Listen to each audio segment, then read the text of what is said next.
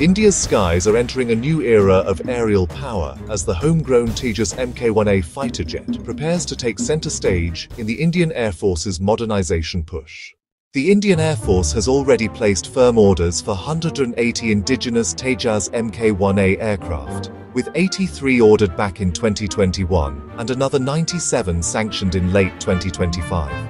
But here's the big update. HAL now expects this number to rise further, potentially well above 180 jets, as India looks to bridge looming gaps in combat strength.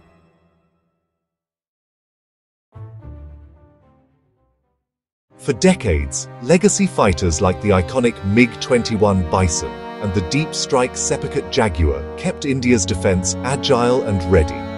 However, these platforms are now retiring rapidly, with the MiG-21 formally retiring in 2025 after more than 60 years of service, and Jaguars set to fade out by the mid-2030s due to airframe fatigue and parts shortages. That retirement trend has put pressure on India's air combat strength.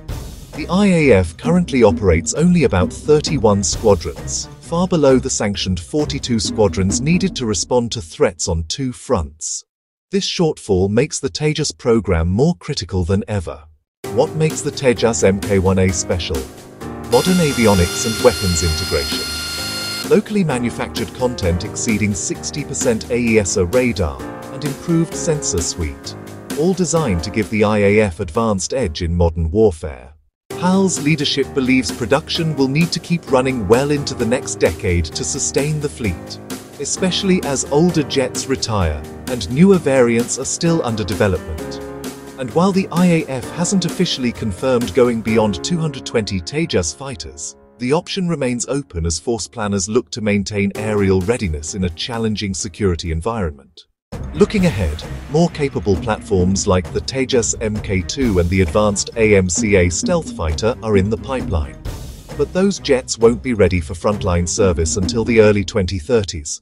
That makes the Tejas Mk1A the backbone of India's fighter fleet in the meantime. In short, India is betting big on its indigenous fighter to replace the old guard and power the Indian Air Force into a new strategic era. With more orders likely on the horizon, Tejas is ready to take India's defense legacy skyward. If you enjoyed this breakdown, hit like, subscribe, and ring the bell for more defense and aviation insights.